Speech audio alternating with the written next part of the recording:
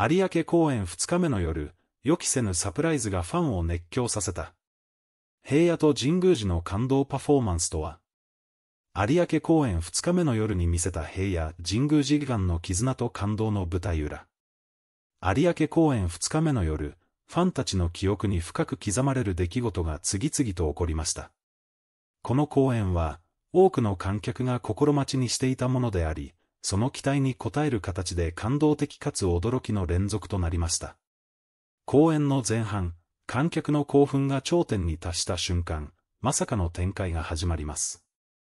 MC がステージに現れ、軽快なトークを繰り広げる中で、突然の出来事が起こりました。平野くんが何かにしゃがみ込み、神宮寺くんが急いで駆け寄り、彼を肩車しながら歌い始めたのです。このサプライズパフォーマンスは観客を驚かせ、会場全体が歓声と驚きの声に包まれました。さらに、平野くんと神宮寺くんの間には微笑ましいやりとりがありました。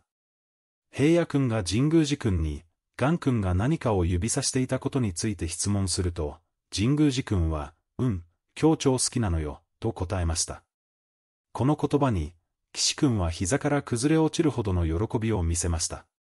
この瞬間、三人の絆の深さが観客に伝わり、会場は笑いと感動に包まれました。その後の MC では、ガン君の SNS 用の写真撮影が行われました。神宮寺君や平野君が撮影を担当し、その様子がステージ上で披露されました。観客はこの瞬間を見逃すまいと、熱心にステージを見つめていました。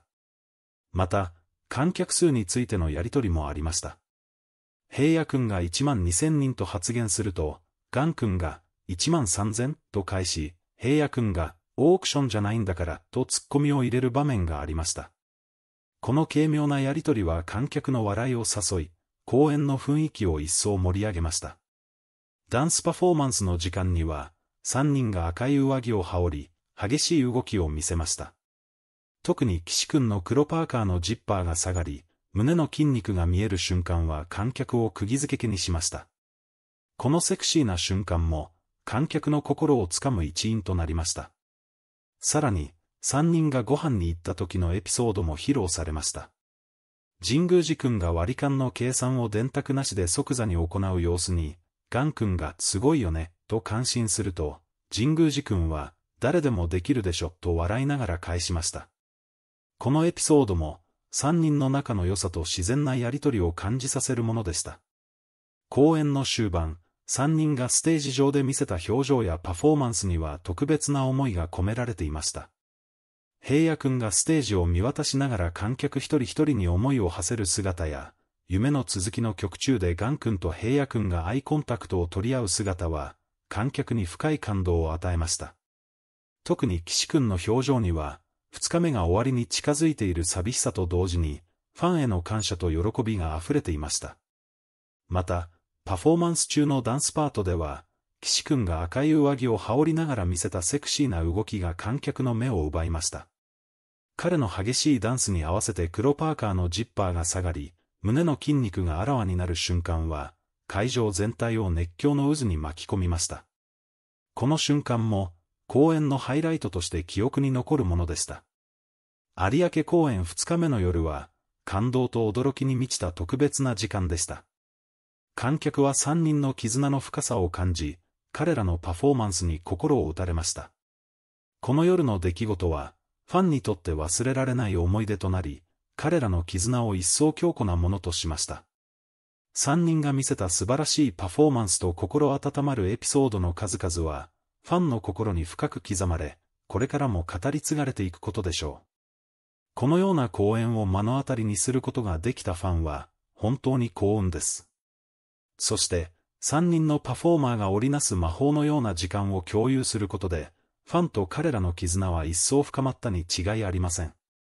有明公演二日目の夜、そこには特別な瞬間が数多く存在し、その一つ一つが観客の心に強く残り続けることでしょう。さて、次に控える公演では、どのような驚きと感動が待っているのでしょうか。三人の次なるステージを楽しみにしながら、ファンは心を弾ませています。これからも彼らの成長と新たな挑戦を応援し続けることでしょう。有明公演2日目の奇跡の夜は、これからも多くのファンの心に生き続けることでしょう。そして、新たなステージで再び彼らと共に感動の瞬間を共有できる日を待ち望んでいます。有明公演2日目の夜がファンにとって特別な思い出となったのは、その背後に隠された準備や努力があってこそでした。3人のパフォーマーは、それぞれが持つ才能を最大限に発揮し、一夜限りの夢のような舞台を作り上げました。しかし、彼らの成功の陰には、多くの練習と試行錯誤がありました。例えば、パフォーマンスの一つ一つの動作には、細かなタイミングと精度が求められます。特に、平野くんがしゃがみ込んだ瞬間から神宮寺くんが肩車をする流れは、完璧なタイミングでなければ観客に感動を与えることはできません。このような瞬間のために、彼らは何度もリハーサルを重ね、お互いの動きやタイミングを細かく調整していたのです。また、公演中の MC 部分も重要な要素です。観客との距離を縮め、舞台全体の雰囲気を盛り上げるためには、自然でありながらも計算されたトークが必要です。平野くんと神宮寺くん、そして岸くんの間で繰り広げられるユーモア溢れるやりとりは、まるで日常の会話のように自然ですが、その背後には長い年月をかけて培われた信頼と絆があるのです。彼らの関係性があってこそ、観客はその場の一体感を感じ、心から楽しむことができるのです。公演の終盤に向けて、観客は次第に感動の渦に引き込まれていきました。ダンスパフォーマンスの激しい動きや、楽曲のメロディーに合わせた繊細な表現は、彼らの技術の高さを物語っています。特に岸くんのセクシーなパフォーマンスは、ファンの間で語り草となり、彼の新たな一面を見せることとなりました。このような一瞬のために、彼らは日々のトレーニングを欠かさず、常に最高のパフォーマンスを追求しています。公演が終わりに近づくにつれ、観客も彼らと共に感動を共有し、別れを惜しむ気持ちが強まりました。平野くんがステージを見渡す姿や、ガン君と神宮寺君がアイコンタクトを取り合う瞬間は、観客にとって特別な思い出として心に刻まれました。彼らが見せた一体感と感動は、ステージの上だけでなく、観客席全体に広がり、ファンの心に深く響きました。この公演の成功は、3人のパフォーマーだけでなく、裏方のスタッフや関係者すべての努力によるものです。ステージの演出や音響、照明の一つ一つが、彼らのパフォーマンスを引き立て、観客に感動を与える要素となりました。スタッフ一同が一丸となって公演を作り上げる姿勢は、プロフェッショナルとしての誇りと責任感に満ちています。有明公演2日目の夜は、3人のパフォーマーとスタッフが一体となって作り上げた、まさに奇跡のような一夜でした。このような公演を目の当たりにすることで、ファンは彼らの努力や情熱を肌で感じ、ますます彼らを応援したいという気持ちを強めました。